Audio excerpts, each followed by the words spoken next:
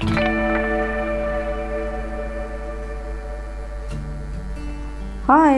how are you?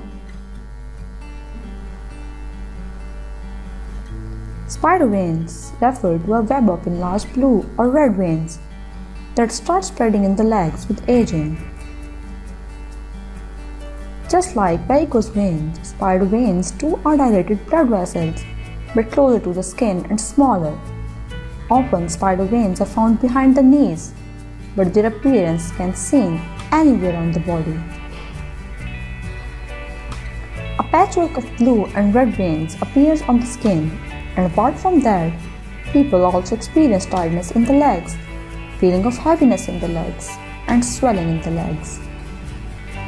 But don't worry, problem solved. Here are some best remedies for spider veins. Magnesium rich foods orange, blackcurrant, apple cider vinegar.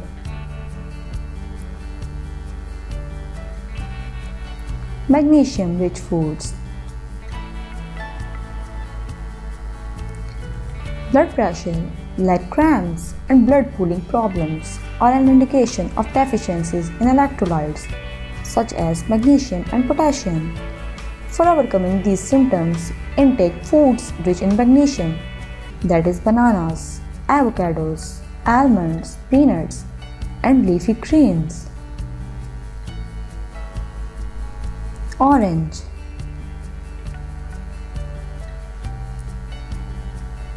Citric acid, rather vitamin C, is an effective treatment for spider veins on the face.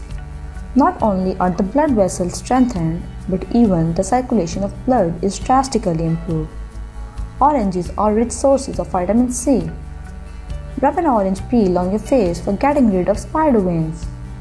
It is essential to include oranges in the diet in order to reduce the effect of spider veins. Blackcurrant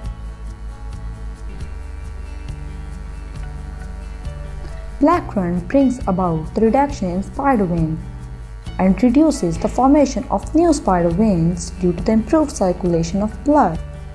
The herb also cleanses the body and blood, thereby reducing inflammation.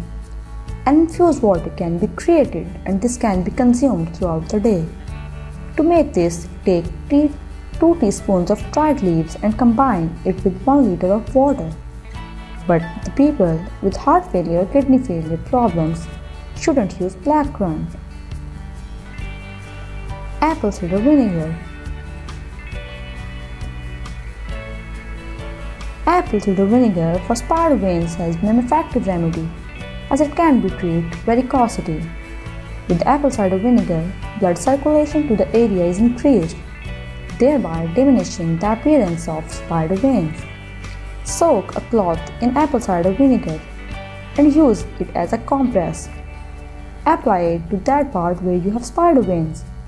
Do it twice or thrice daily for a month.